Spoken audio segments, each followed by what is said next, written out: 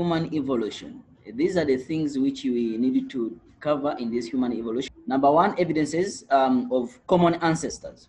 So we are going to look at uh, them and then see how we can answer questions concerning about that. And then out of Africa hypothesis that humans or modern humans uh, originated from Africa and migrated to the rest of the world. Let's look at the classification of humans. Where do you belong, you guys? Where do you belong? Number one, kingdom, we belong to Animalia. It means that we are animals, okay? Phylum uh, it means that we have, chordates means that they have a backbone, uh, that um, spinal cord. Yes, the backbone. Not basically the spinal cord, but the backbone, because uh, there are some animals which have the spinal cord, but they don't have the backbone. Then we have uh, class, we are um, um, mammalia, we are mammals, we have the mammary glands. That's why it's called mammalia. Not, not boobs, no, no, no. In science, we don't call them boobs, we call them mammary glands, yes. And then um, order is primates. So all of us, we are under um, primates like um, uh, chimpanzees, uh, the, the, the monkeys, yeah. So uh, family, hominidae. This last part of this word means a family. So the reason why I highlighted it means that it is needed. We will ask you this, family to which humans belong. And then homo, genus. The reason why I underlined uh, or I changed this, it is homo, because in the phylogenetic tree, we will ask you how many genera are there? How many genera are there? If it's one, it's called genus. If there are many, we call them genera. Then you have uh, which you call um, species. We, we under uh, sapiens. We are homo sapiens sapiens. So um, the scientific name is supposed to be uh, written like this. In uh, you, you, you, since you, you, you don't have the italics in the paper, so you have to underline it. So we are under Homo sapiens. So the first name is for a genus, and then the second name is for a species. So if they ask you how many species are there, so we will see this uh, when we go to phylogenetic tree. So how do you write the scientific name? This is what I'm trying uh, to, to, to, to, say. The first letter must be capital letter. And then the, for the second name, the second letter must be, the first letter must be a small letter. So this one is a capital letter, while this one is a small letter. Yes, so these colors, they're just there with um, a reason. Yes, so this one shows the number of years. We start from present, yes, present, and then we go downwards. That's why we say million years ago.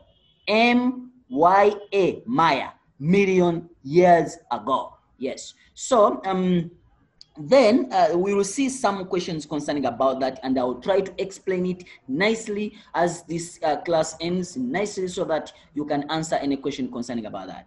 All right. Characteristics of humans shared with um, shared with other African um, apes. Number one, upright posture. We stand upright. That one is very clear. We are going to be a little bit faster. Then we are saying that a large brain, yes, we have a large brain compared to uh, donkeys, uh, compared to dogs. Yeah. So um, the brain, you see that the elephant has a big head with a big brain. It might not be that the elephant is is having a big brain compared to us. No, we are comparing the brain compared to the body size. If our body size is compared to the brain, our brain is bigger. If you compare the brain of the elephant compared to the body size, you'll find out that the, its brain size is too small. Eyes in front, that is very clear so that you can see nicely and easily. And then you're saying that eyes with the cones, you can see color. It means that dogs cannot see color. Yes? So, but uh, we humans or primates, we can see color. Yes. Then free rotating arms, you can rotate them nicely. Yes, even you can slap someone from behind you. It means that they can rotate. Long upper arms, our arms, um, the upper arms are longer. Two teats, yes, uh, we say that we, we call them teats. Okay, if you look at the mammary glands on the top, they have two, two of them. Uh, if you look at um, a, a cow, it has more than two yeah, it has more than two. So it means that the humans and other primates, chimpanzee, uh, gorilla, all those ones, they have two of them, two of them, not boobs. Yes. All right. And then they're saying that elbow uh, joints allowing rotation. Yes. This is the elbow we are talking about. Yes, it can allow that rotation. Sexual dimorphism. You can see a, a difference in a guy and, uh, and, and, and, and a, female, a male and a female. Even if you are a guy and you put things uh, which makes you look like uh, a lady, still we don't know that yeah, when you are a lady or you are a guy. Even when you talk, even if you twisted it, still we will know. So sexual dimorphism, we can see you clearly from a distance.